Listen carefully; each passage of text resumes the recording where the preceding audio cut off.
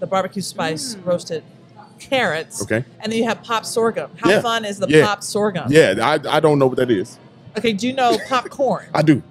Okay, you know sorghum. Mm-mm.